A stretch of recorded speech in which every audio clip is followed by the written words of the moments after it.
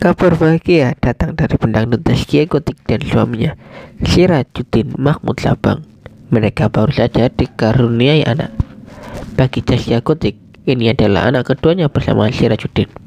Sementara untuk sang suami, ini merupakan anak ketiganya, karena telah memiliki satu dari pernikahan sebelumnya. Kabar bahagia ini diumumkan oleh Sirajuddin di Instagram Story. Alhamdulillah telah lahir sempurna anak ketiga kami. Sejauh ini belum ada informasi terkini soal kondisi si kecil dan Zaskia Gotik.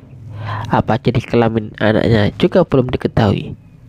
Sebelumnya, Zaskia Gotik mengungkapkan rasa antusiasnya menjelang persalinan anak keduanya. Hal itu terlihat dalam postingan terbarunya di Instagram.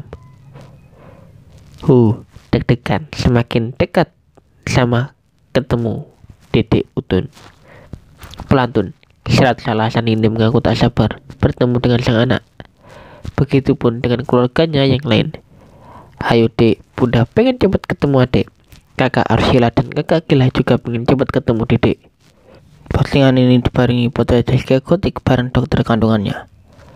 Perut sang biduan pun tampak sudah begitu besar. Tidak menunggu lama, unggahan ini langsung banjir komentar netizen dan rekan selebriti lainnya.